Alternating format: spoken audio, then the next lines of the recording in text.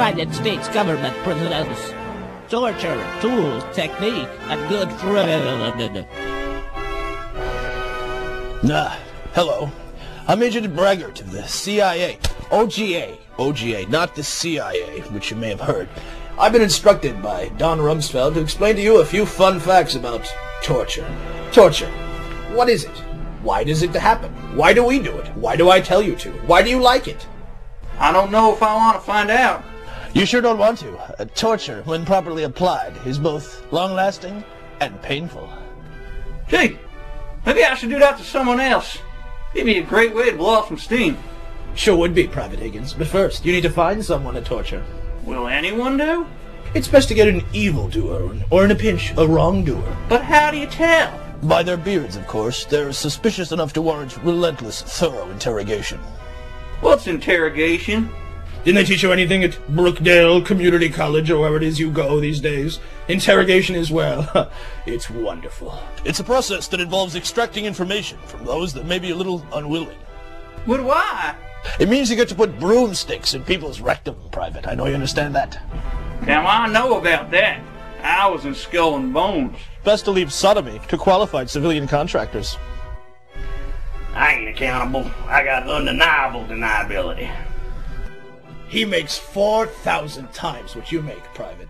I had enough money for all the orange and cream soda in the world. Damn, I'm jealous. Don't worry, you get to take pictures of the sodomy. But I don't even have a camera. You do now, thanks to Uncle Sam. Uncle Sam is Uncle Great. You said it. We can do anything as long as we got a flag to hide behind. What do you mean, anything? I mean pain. You gotta know pain. You gotta know your danger zones. Your danger zones are the hands, the eyes, the mouth, the teeth, the groin, the feet. These are your danger zones. Well, that sure sounds dangerous to me.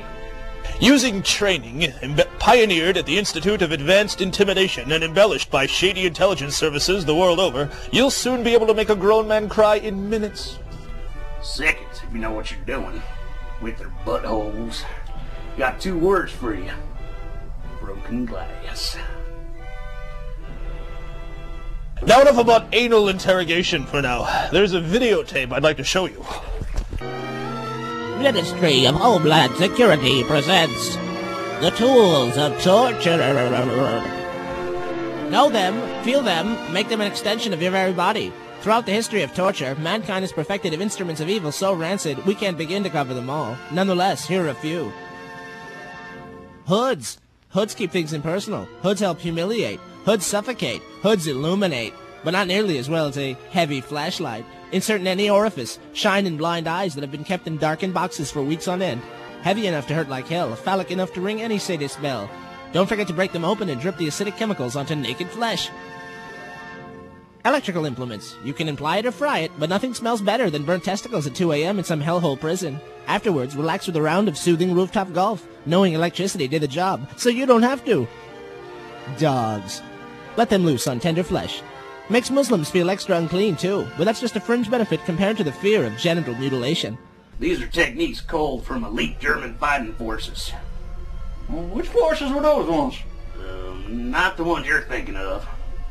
Well, anyway, now you got them hooded. They can't see you. It's time to soften them up like a hamburger.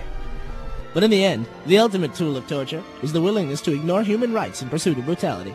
The ultimate tool of torture is you. Your fist can be the most efficient implement in your quest for ultimately useless information. Been a long time since my fist has tasted human flesh. Like two days. Always follow the interrogation rules of engagement. General Miller's special blend of herbs and humiliations. Always be prepared to carry out any order. The weakest link in the chain of command is soon set out to dry. If you don't join in the reindeer games, you'll find yourself utterly ostracized. That's because teamwork and can-do spirit trumps independent thought any day. That's the Don Rumsfeld way. Hooray! But for today, let us keep in mind each and every one of our tools of torture.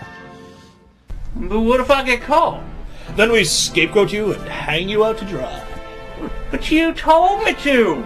Private, that didn't work in Nuremberg, but it will work now. At ease, because you'll be on Easy Street.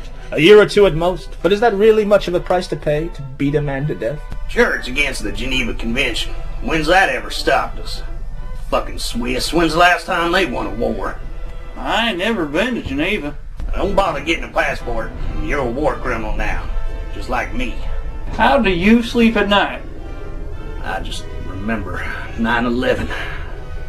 And how it had nothing to do with this, really. Well, let's just face it, I like hurting people. Remember the Alamo? Alright. We got their hearts and minds all right. In jars. God bless America. God bless money. God bless plausible deniability. Amen.